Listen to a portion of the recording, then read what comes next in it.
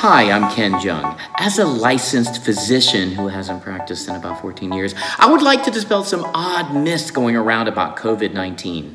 Adding hot peppers to your soup or any other meals does not prevent COVID 19, no matter how tasty those peppers are.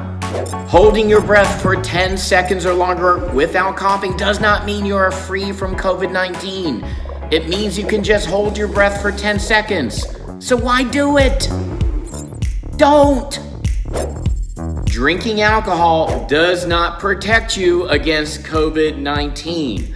So, being a big bad party animal doesn't mean you're immune. So, stop it. Take it from Mr. Chow himself. Stop it. Stop it! Exposing yourself to the sun or temperatures higher than 25 degrees Celsius does not prevent you from getting COVID 19. You can still catch COVID 19 no matter how sunny the weather is.